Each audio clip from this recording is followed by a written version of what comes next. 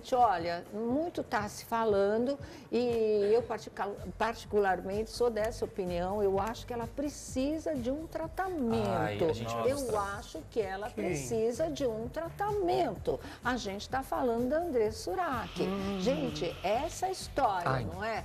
De realmente dividir a língua em duas, fazer essa interseção na língua, é uma coisa absurda. Essas imagens são horríveis. Depois tem uma pior ainda, por conta da língua que foi ah, cortada ah, ao meio, está inchada. Né? Ah, ela começou a babar muito, disse que estava tentando tomar um sorvete, que ela fez esse tipo de cirurgia e não devia permitir esse tipo de cirurgia, não sei se fosse um caso de doença é, de né, na língua, de, de alguma coisa. Necessidade, mas fazer por vaidade ou por outros motivos, porque ela diz que isso é melhor para a vida sexual, proporciona mais prazer e ela vai investir nisso porque ela vai vender muito mais os vídeos adultos ainda, os vídeos eróticos. Gente, tem algum parafuso solto aí, algum? não é possível. Não é possível que ela faça isso com o próprio corpo. Tem a história de ter tirado a costela, agora vai e faz esse corte na língua absurdo,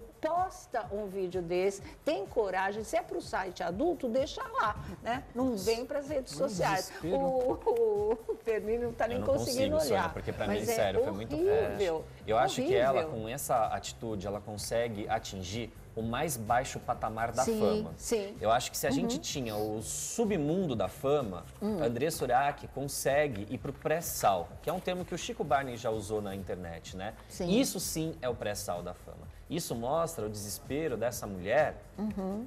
para aparecer. Né? Porque ela precisa ter algum escândalo midiático para estar em voga, porque ela sabe que a profissão atual dela não dá mídia. A gente não quer ficar falando sobre com quem ela vai para cama, com quem ela deixa de ir para cama, sobre as baixarias que ela faz, o estilo de vida que ela escolheu. Isso é um problema dela.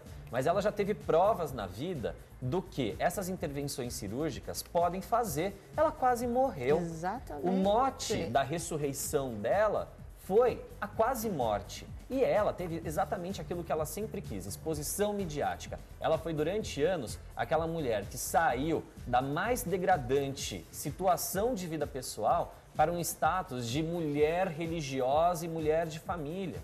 E a gente sabe que tudo aquilo foi um personagem, que no momento em que ela deixa de lucrar, deixa de ser interessante, ou que o assunto já estava muito batido, ela volta e volta cada vez pior. Para mim, Andressa, eu não sei o que, que você pode mais fazer por você. Eu sei que o que as pessoas podem fazer por você, elas já fizeram. Sim. Agora é você por você. As consequências das suas ações são só responsabilidade sua. Você pode faturar dinheiro, pode faturar o que for mas você se tornou uma figura repugnante. Repugnante ao ponto da gente olhar para tua cara e olhar e, ver, e sentir nojo.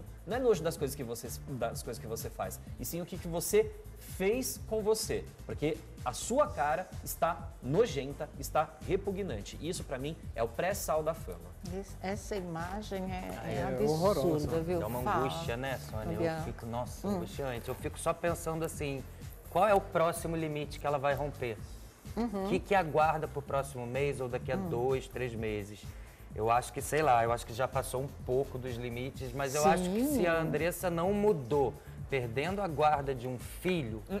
uhum. não vai Exato. ser mais nada possível é. para que ela mude. Eu uhum. mando orações, sinceramente. Exatamente. Espero que um dia ela possa ter uma vida mais digna, não relacionada ao que ela faz, a profissão que ela resolveu adotar, mas em relação ao que ela está fazendo com ela mesma. Eu acho que Eu essa acho, chance Sônia, ela já teve, jogou já teve. no livro. Eu acho que quando a gente